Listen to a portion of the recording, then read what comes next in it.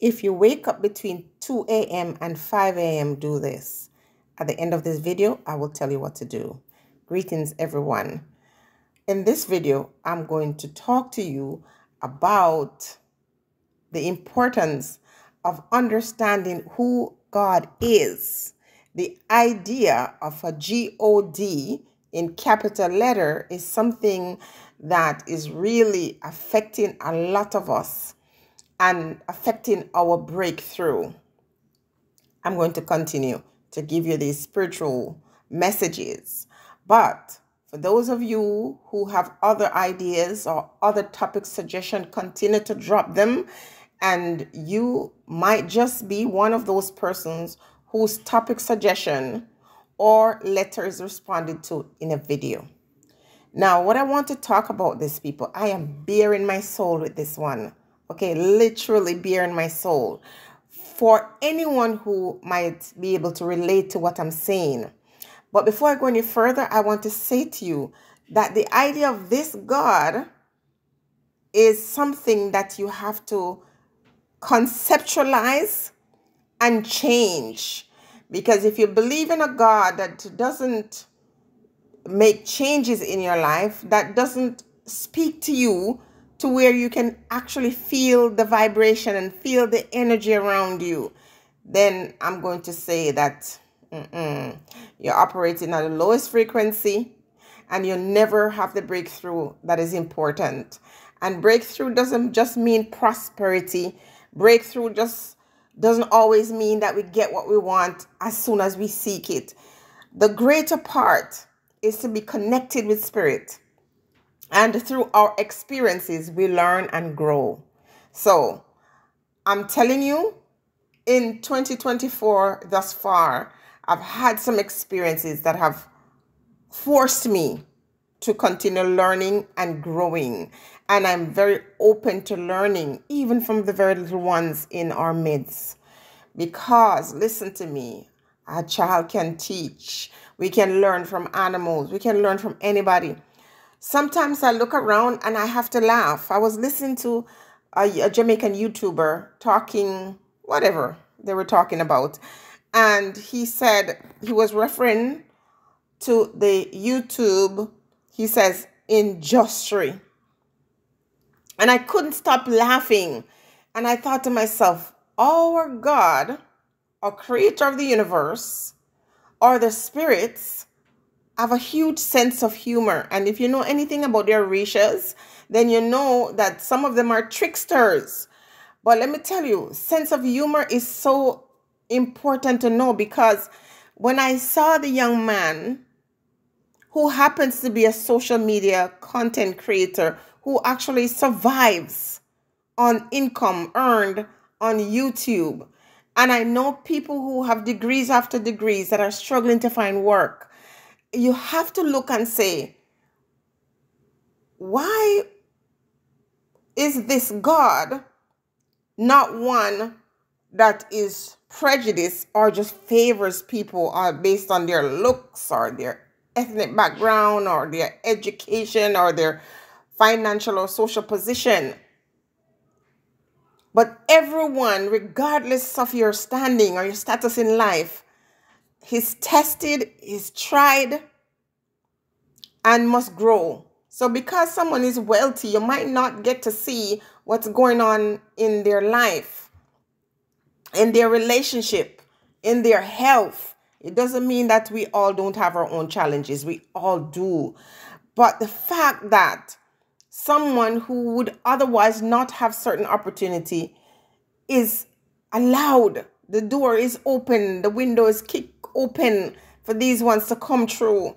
And oftentimes it upsets people who are born into privilege to see the ghetto person, the one who can barely read. Listen, you can look on social media and see people who are not intelligent in terms of book smart, but they're street smart. The people are doing very well financially for themselves and they cannot hold a good conversation. If you ask them something, there's no depth, there's no spiritual insight, you know, but yet they're doing the thing. They're doing the darn thing. And sometimes even you who have opportunities, you know, overseas or opportunities based on your your education and things like that, you're still feeling like you're falling behind these ones because listen, God is just. The idea of God is just and fear. It seems like it's not, but it depends on the concept of God that you have. So you say, oh, life is so unfair because you look and you see some wicked people and they're prospering, and you see some good people and they suffer and they die and they don't achieve much in life. But the thing is, you might say they don't achieve financial freedom or they don't achieve certain thing that you consider to be successful. But some of these ones, as poor and broke as they are, they had peace. And some of the ones with a great deal of wealth have zero peace. Okay? So we really can't just live our lives based on what other persons present before us. Just just look at your own situation and find peace within your own self. And while we're talking about growth and that, thank you guys. Thank you for all the new subscribers. Thanks to everyone who watches the um, the ads and for those who advocate for the ads to be watched. Thank you, thank you, thank you. That's one of the best things you can do for me. Please watch the ads. It is easier and a nicer contribution than me having to come and say, please donate to my channel, da da da da da. Okay, I'm not very good at the begging. Um, that's not, I'm not opposed to it, but I'm just not very good at it.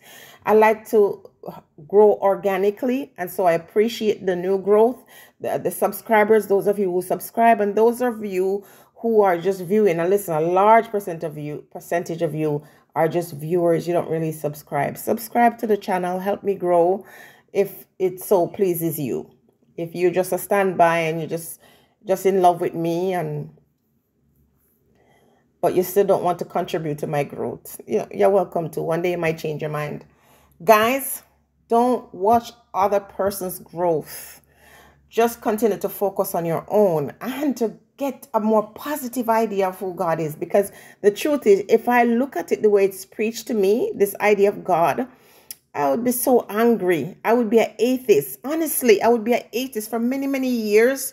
I would ask questions. I would challenge the idea and the concept of God.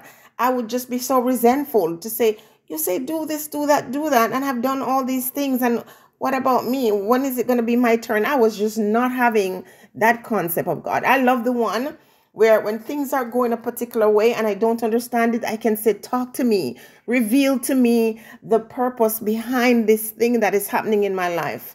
And I need to know, I, I need to be connected to a God, the idea and the concept of a God that I can talk to, and that I don't have to, you know, just always be on my face and you know, always being afraid to ask the questions because I have to ask questions because we're human beings. We need to know. And there are times when things are happening and I'm saying, okay, I know that you will never do this to me. I know you never allow this to happen to me except for my growth or for my betterment. All I ask for is peace, tranquility. All I ask for is, you know, guidance and protection. All I'm asking for is just to help me understand at least help me to understand why I'm going through this and give me the strength to endure until that season has passed because we all have these seasons that we have to go through. If you wake up between the hours of 2 a.m. and 5 a.m., don't forget to do your prayers. Turn your eyes or your face to the east and call upon your spirit guides and your ancestor and start your day with something positive, a pos- positive thought. Give thanks for all that is coming and even those things that are negative. Give thanks for them and ask that your day, order your day, that is, and just say, Today is going to be a day of blessing. Today is going to be a day of love and peace and light and joy.